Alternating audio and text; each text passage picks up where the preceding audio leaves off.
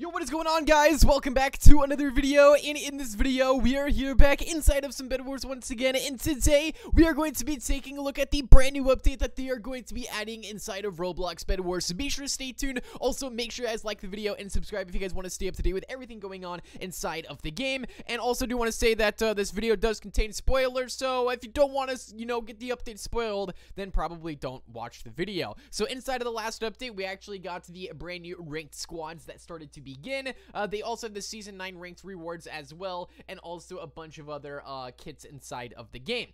But on top of that, inside this next update, we're going to be getting a Lucky Block update. And also, we're going to be getting a new item added to the game. Just wanted to point this one out as well. So this skin is already out inside of the game for the Vanessa kit, but they didn't have the Headhunter skinned. So this is what the Headhunter skin looks like for the Vanessa. So if we actually look here inside of my kit and I type in the oh whoops wait what the heck was that okay uh vanessa right here wait why isn't it why isn't it popping up? Do i not have it? Uh search kits. Oh kit owned. Wait why isn't the vanessa kit coming up? Uh that's weird. Okay.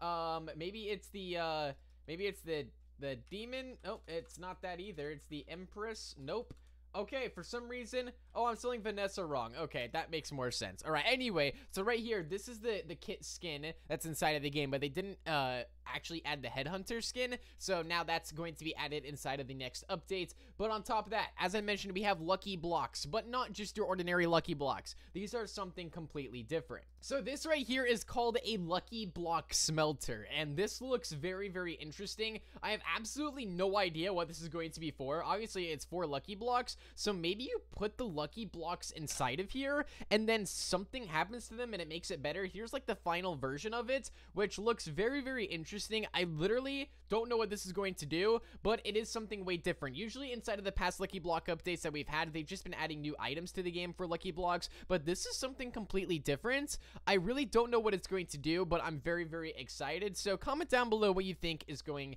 to uh, be a part of these Lucky Block smelters. Like, are they going to upgrade your items? Are they going to give you better items? I honestly don't know. Comment down below your thoughts. But be sure to like the video and subscribe. And make sure you guys uh, stay notified on the channel for new upcoming updates for Roblox Bed Wars. I'll see you guys all later. Peace out and goodbye.